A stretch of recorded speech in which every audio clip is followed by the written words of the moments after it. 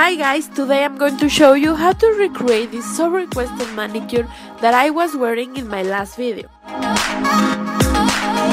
Apply one coat of white polish. Don't add a second coat to make it opaque.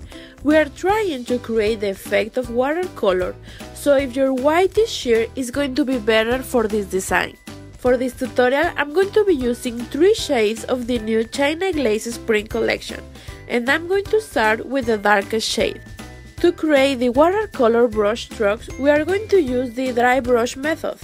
So remove any excess of the brush and paint random strokes over the base.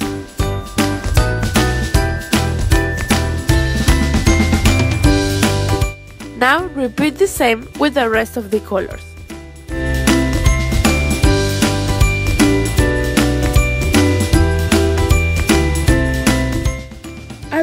The whole effect of this nail design. Overlapping the colors really gives the illusion of watercolor over paper.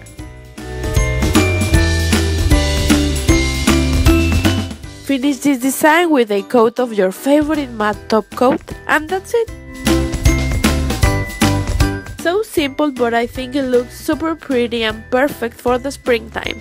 I really hope you like this video guys. Please subscribe if you aren't already and see you next time. Bye!